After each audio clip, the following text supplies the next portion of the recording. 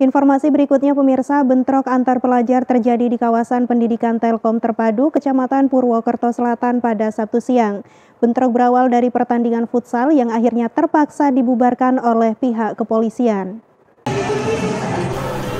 Bentrok antar pelajar terjadi di kawasan pendidikan Telkom Terpadu Jalan di Panjaitan Purwokerto Kidul, Kecamatan Purwokerto Selatan pada Sabtu 18 Juni 2022 sekitar pukul 13 waktu Indonesia Barat. Dari informasi yang diperoleh, bentrok berawal dari pertandingan futsal yang akhirnya terpaksa dibubarkan oleh pihak kepolisian yang mengamankan sebanyak 41 orang untuk dimintai keterangan lebih lanjut.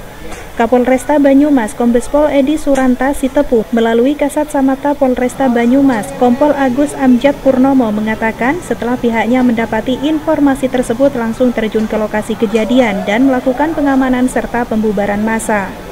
Sebelumnya, pembubaran pertandingan karena adanya kericuhan supporter yang kebanyakan dari Kabupaten Cilacap memprotes panitia dan dinilai kurang siap menggelar pertandingan futsal. Dari Purwokerto, Jawa Tengah, Tim Liputan Madu TV mewartakan.